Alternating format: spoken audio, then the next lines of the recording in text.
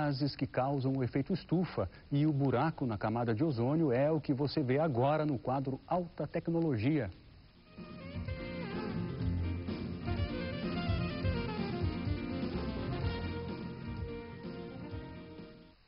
O prazo era 2010, mas já há três anos o Brasil não produz mais refrigeradores, aparelhos de ar-condicionado e outros usados para refrigeração com clorofluorcarbonos, os CFCs, aqueles gases que destroem a camada de ozônio que nos protege dos nocivos raios ultravioletas do Sol. Junto com o Plano Nacional do Ministério do Meio Ambiente para eliminar os CFCs, foram criados no Brasil cinco centros de regeneração ou reciclagem. Um deles fica em Porto Alegre e atende a toda a região sul. Rio Grande do Sul, Santa Catarina e Paraná.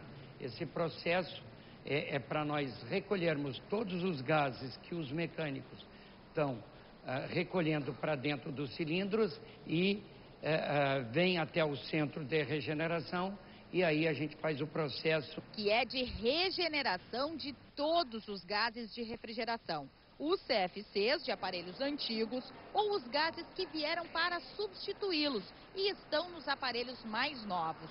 O cilindro com o material impuro é ligado na máquina de regeneração.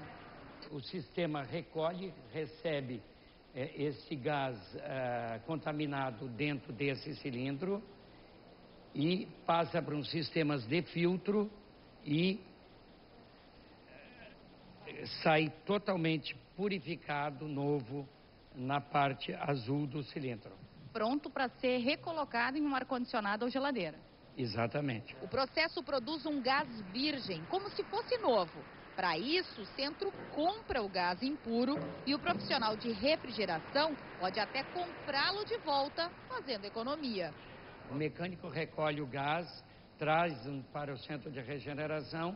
Aqui ele é feito todo o processo e é, é, nós conseguimos devolver para o mecânico com a mesma qualidade do verde. E 20% mais barato. E 20% mais barato, que isso aí é fundamental.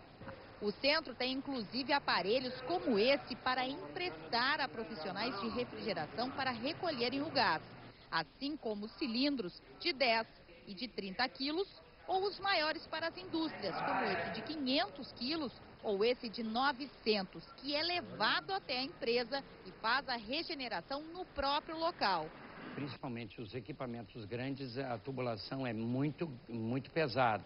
Então dá vazamento na parte em si de tubulação e precisa ser recolhido para fazer o processo de conserto.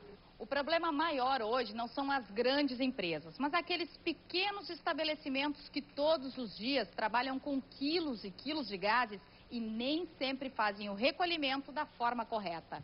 A lei proíbe o lançamento de qualquer gás.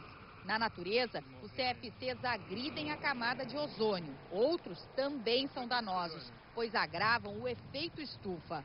O consumidor tem papel importante nessa questão na hora de escolher quem é que vai prestar o serviço? Muito. Aí isso a gente pede pro, principalmente para os clientes que usam a parte de conserto, né, que é, levem para as empresas, principalmente é, é, quem tenha máquinas recolhedoras de gás. O meio ambiente agradece. Meio ambiente agradece.